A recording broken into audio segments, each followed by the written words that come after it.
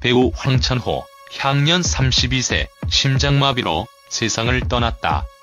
서울 성모병원 장례식장에 배우 황찬호가 너무 일찍 세상을 떠났다. 향년 32세.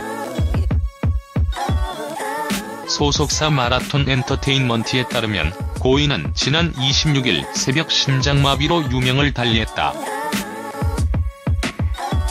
이후 서울 성모병원 장례식장에 빈소가 마련됐고 28일 발인이 진행됐다. 소속사 관계자는 소속사 배우들을 비롯해 황찬호 배우와 함께 한 많은 이들이 사흘간 빈소를 지켰다고 전했다. 서울예술대학 연극과 출신인 황찬호는 2006년 연극 유리가면 에피소드 5 또 하나의 영혼을 시작으로 드라마와 연극, 뮤지컬 등의 무대에서 활발하게 활동해왔다.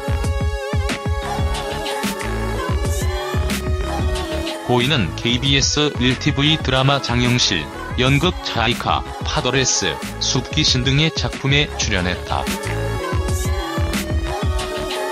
올해도 MBN 드라마 연남동 539, OCN 드라마 그 남자 오수 등에서 인상적인 연기를 선보였다.